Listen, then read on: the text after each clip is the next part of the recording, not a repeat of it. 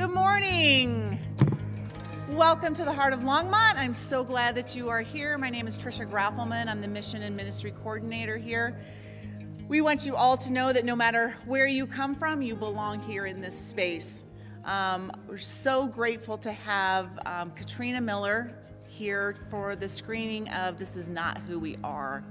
It was um, moving in a lot of different ways. There were, um, it, it, felt so good to have so many different people. They're trying to get it um, nationally on PBS. And what they said is that um, it was going to take 25 stations for them to, to get it to go nationally, and they had over 96 that said they wanted it. And so it will be um, on PBS in the future, and I will be sure to let you all know uh, when that happens. Um, I'd like to take this time to thank those that have offered up the altar flowers today. Um, Sam Brooks, in memory of his mother, Betty Brooks, and the Wednesdays Men's Group, in memory of Chuck Winkleman. Thank you for those. This is my Father's world.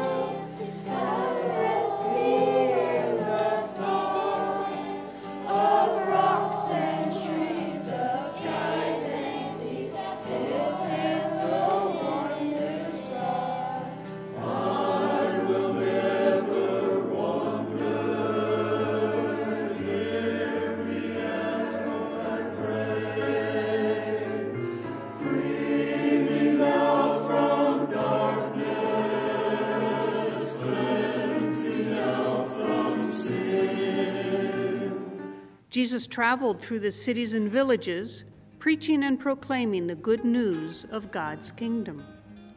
The twelve were with him, along with some women who had been healed of evil spirits and sicknesses. Among them were Mary Magdalene, from whom seven demons had been thrown out, Johanna, the wife of Herod's servant Chuza, Susanna, and many others who provided for them out of their own resources. March 8th is International Women's Day. It's a day to celebrate the achievements of women from around the world. It's about advocating for equal rights. It's about advocating for equal pay. It's about women not to be harassed and have violence perpetuated against them. Amen, a woman.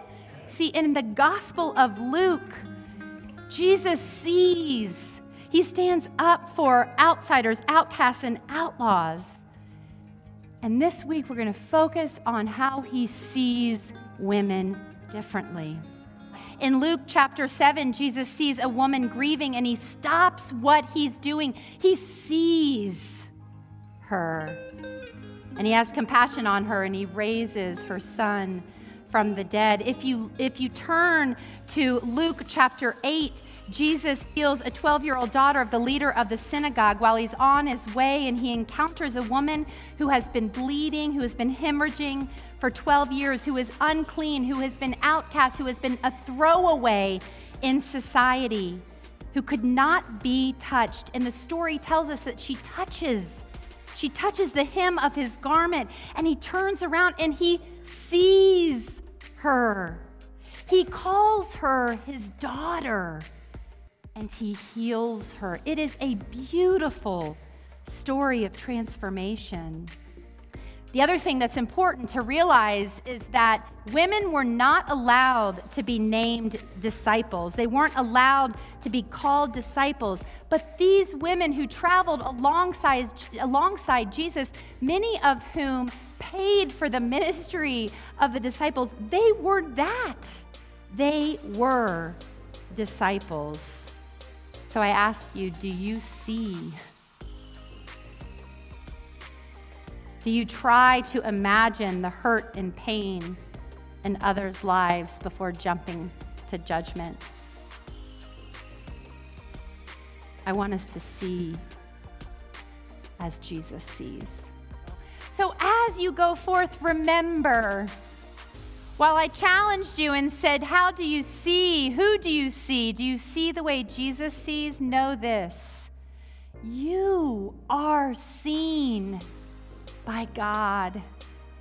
You are God's beloved, with whom God is well pleased. So go knowing just that. Go in peace and love. Amen.